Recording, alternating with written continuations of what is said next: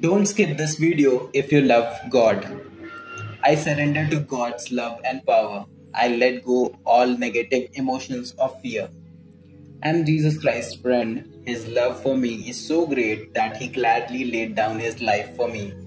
I cast all my anxieties and worries to the Lord who loves and cares for me. I will not worry about the future. God knows his purpose for me and I know he will fulfill it. The Lord hears me and answers me when I call him. When I feel anxious, I take refuge in the Lord Jesus Christ, where I feel safe and protected.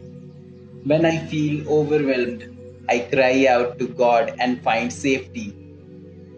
I may have trouble in this world, but in God I have peace, for He has overcome the world. I'm not afraid of anything people do to me because I trust the Lord. I make the Lord my focus and place my trust in Him, and He will embrace me in perfect peace. I am anxious for nothing. I pray to the Lord who always answers me and experience the peace of God. I will not be afraid because of the Prince, Prince of Peace is with me all the time. I will remain strong and courageous during difficult times, for Christ Jesus is with me wherever I go.